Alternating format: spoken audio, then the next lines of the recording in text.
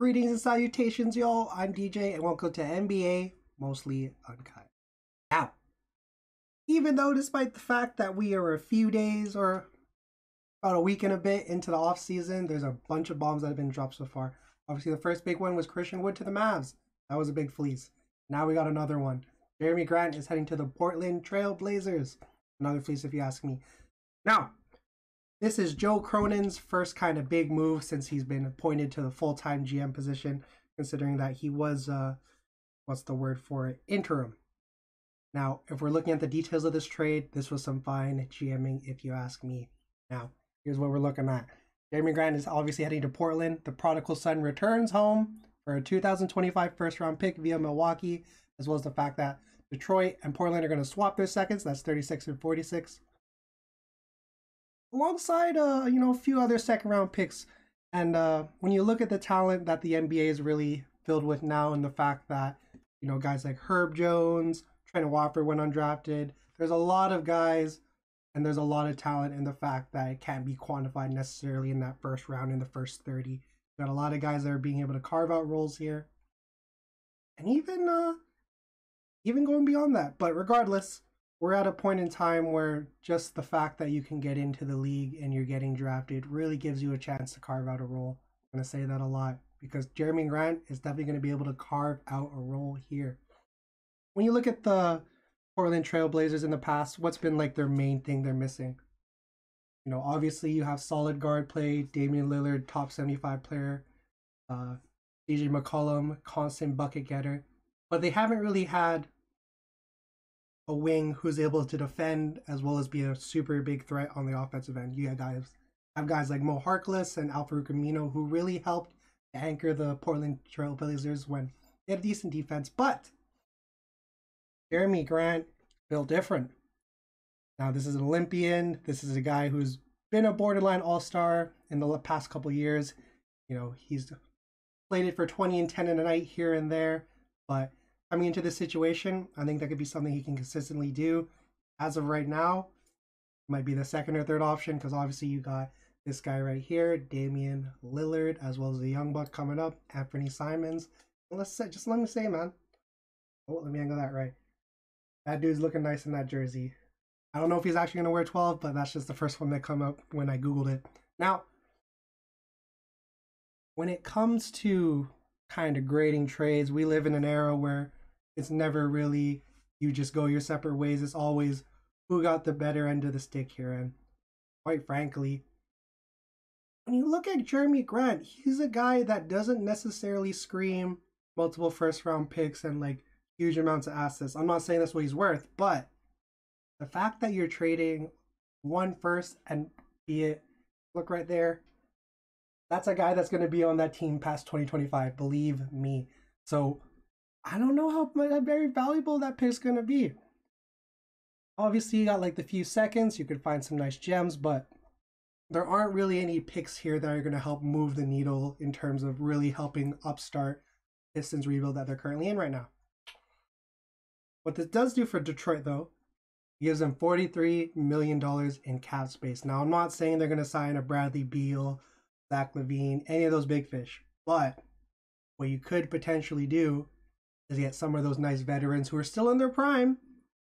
Can't really think of any off the top of my head, but you know those guys that could potentially be there for the long or for the tail end of your rebuild, but as well as maybe you're going to be able to have some nice money to pay your young guys. You know, we got Isaiah Stewart, Beef Stew, Saddiq Bey, one of the nice young sharpshooters in the league right now, and Marvin Bagley, who's the guy that, let's face it, he could average 20 and 10 next year, and everybody's still going to call him a bust just considering who he got drafted between.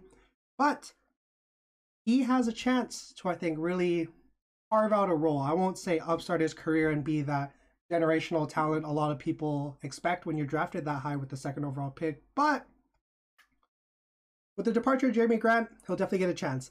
Even if Detroit were to go with a guy like Keegan Murray, one of those bigger dudes who has the ability to play the four, I think Marvin Bagley's still going to get some chance to get into the rotation at that position, whether that or even as, you know, a little smaller five, because he is a bit on the lighter end of the front court position.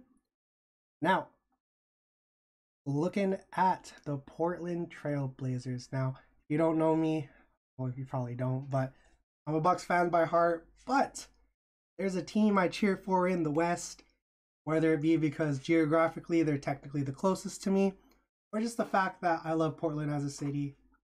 I mess with the Portland Trail Blazers.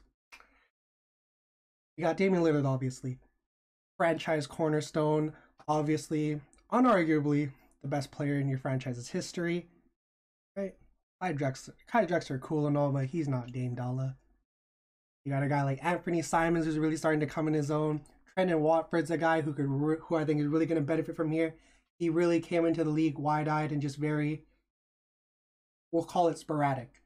You know, he got in where he fit in, and he was able to just really make the most out of this kind of developmental year that the Portland Trailblazers have with the young guys. Aside from that, Nassir Little. Now, when it came to the time he did play before he was injured, he was getting in where he fit in. You know, he had little nice spurts here and there, but obviously the injury kind of derailed all that. This is another guy I think can really learn from an established veteran like Jerami Grant.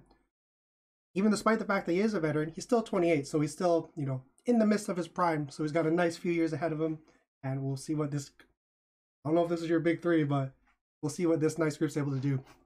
Aside from that, though, Josh Hart, you know, a guy that I think was really just thrown in more in regards to matching the salary when it came to uh, making that trade, whether if it really was for that trade. I don't know, but he was a nice surprise when it came to like trade deadline moves that happened. I think if you were to quantify it, he was definitely one of the better ones in terms of how they perform with their new teams. He was like really balling like a solid option. And with that, in addition to his already pretty elite, I will say, rebounding skills at the guard position.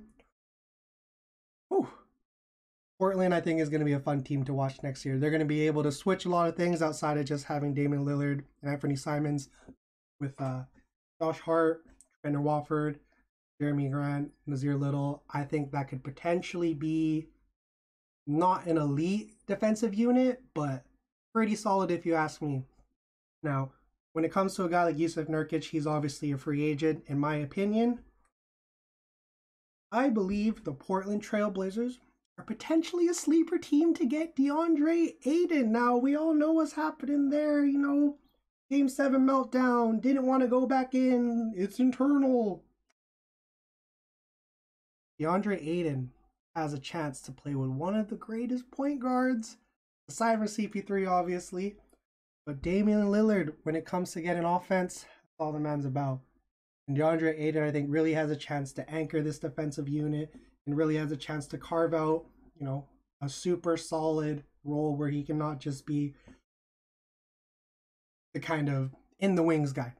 Obviously, he's in your front court. He's obviously one of the faces, but with him being able to come here, he definitely slots in that second option, I think. Now, when it comes to Jerami Grant, it's well documented that the reason he did go to Detroit initially was because he wanted to be that dude. But when it comes to winning, there's no winning without sacrifice. You know, whether it's Ray Allen just constantly spotting up, uh, Giannis Antetokounmpo, you know, playing through when he almost fucking snapped his leg. You know, whatever it be, players have to sacrifice. And Jerami Grant is looking like he's going to make that sacrifice to not necessarily be the guy be the guy's guy. Looking towards the season, I do. I will say though, this isn't necessarily a big, big needle mover when you look at this move independently. We look at the West, what's going to happen next year. I mean, the Nuggets are hopefully going to get healthy. The Clippers are going to be back healthy. All the other teams are already getting that much better. It's going to be a tough year. That being said, I think if they were to do one more big move, even then, when you look at this roster right now, if they were to bring back people they have, you know, Jusuf Nurkic comes back, this is a team that I think fights definitely for a play-in spot, but could also see them fighting for that on the cusp of the sixth spot. You know what I'm saying? But regardless, this has been NBA mostly uncut. Hope you guys enjoy the draft tomorrow, and I hope you enjoy the rest of your day. See ya.